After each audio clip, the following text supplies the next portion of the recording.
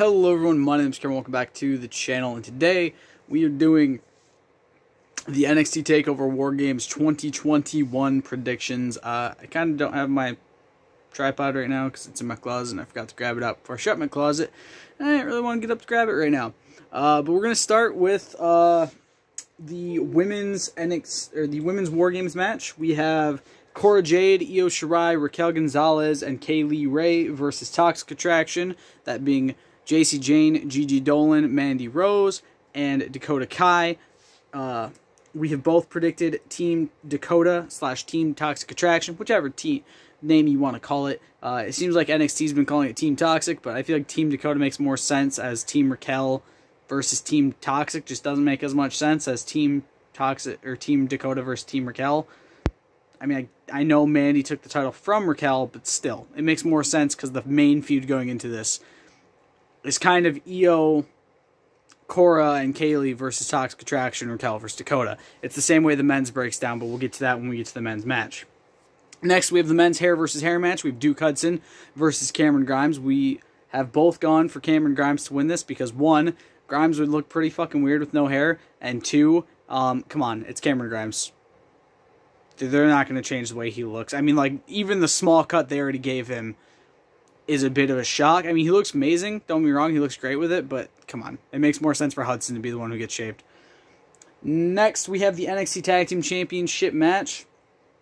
We have Imperium versus Kyle O'Reilly and Von Wagner. Uh, we've actually surprisingly both gone for O'Reilly and Wagner because we think that's probably more likely of what's going to happen.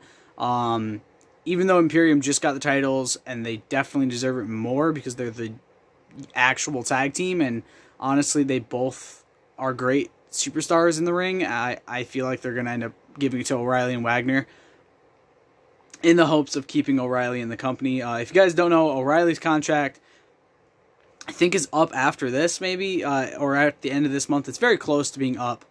Um, and a lot of people have speculated that he's not going to resign. He's going to go sign with AEW uh, to basically reform the Undisputed Era with Adam Cole and Bobby Fish, as they have been recently tagging together on AEW television.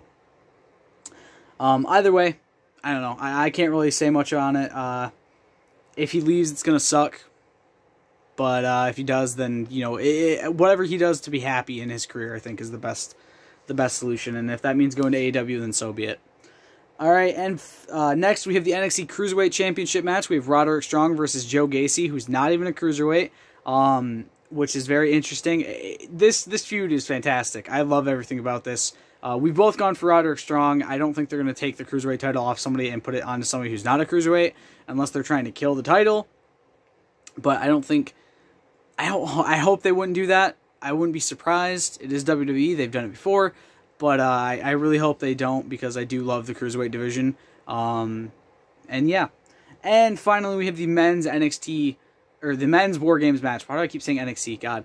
The men's War Games match, we have Team Black and Gold versus Team 2.0. Uh, Team Black and Gold consisting of Tommaso Ciampa, Johnny Gargano, Pete Dunne, and LA Knight, facing off against Team 2.0, which consists of Bron Breakker, Carmelo Hayes, Tony D'Angelo, and Grayson Waller we've both gone for Team Black and Gold. Um, the biggest speculation going into this, especially with the fact that Johnny lost the advantage match to Bron Breakker this past Wednesday or this past Tuesday on NXT, is that this is Johnny's last match in the company. If you guys don't know, basically the same thing Adam Cole did uh, back when him and O'Reilly were finishing up their feud, where he kind of signed like a week long deal just to take it, or a, a, few weeks long deal to take him through to the end of the um, feud.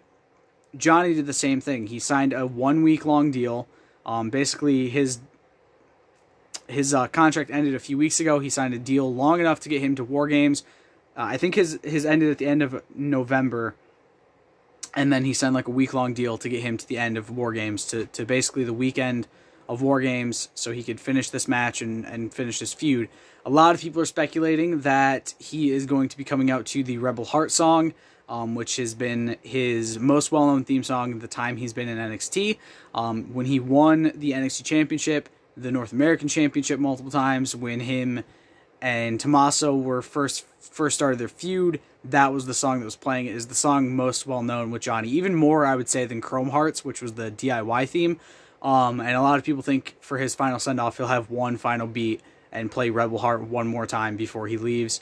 Um, I personally, I would love to see that, but also I wouldn't mind it if Chrome Hearts played and Tommaso and Johnny put aside their differences for the night and came out in full DIY getup. You know, did the full set of poses and everything, and and and came out completely like they they were back in the day. And because if it's gonna be Johnny's last match, not only does he deserve to go out on a big win, he also deserves to be doing it in the best way possible for him and in the way he's gonna feel feel the most fulfilled and fulfill the fans the best. And if this is potentially the last night we see Johnny Gargano and one of the last matches we see Kyle O'Reilly in in NXT, I have to say thank you to both of them. Even though I think a lot of fans turned on Johnny the past couple months and the past like year, um, because you know people were just they were getting fed up with him for whatever reason. It seems like now with his feud with Carmelo, it is kind of like you know mellowing back out, and he's actually starting to be liked by the fans a lot more. But even if this is his last, I think he did everything he possibly could in NXT. He's been there five years, and if he really doesn't want to go to the main roster, his best bet is leaving. And uh, it's hard to see that because I mean, like it's it's Johnny Gargano. You thought he'd be there forever, you know. He's Johnny Takeover. He's Johnny NXT at this point, and it's weird to think of him being gone. But if he really does leave, I hope to see him do some very, very good things in the future. Um, also, I feel like he might not.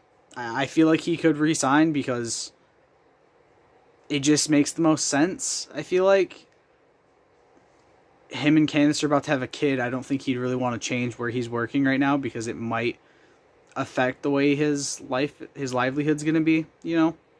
So, uh, hopefully we'll, we'll figure this out. Hopefully we'll see soon where he decides to go. For those of you wondering, by the way, Pete Dunne did resign already. He resigned back in October, I believe or September, somewhere around there. But again, like I said with the women's War Games match, this does also have the feud breakdown. Um, obviously, Tommaso and Bron, Johnny and Carmelo, Pete and Tony, and then LA Knight and Grayson Waller are all in their own singular feuds. So instead of it being kind of like multiple tag teams, it, it it's in a different way, and I like it. Um, but yeah, let me know what you guys' predictions are down in the comments below. I'll see you all in the next video. Stay golden. Peace.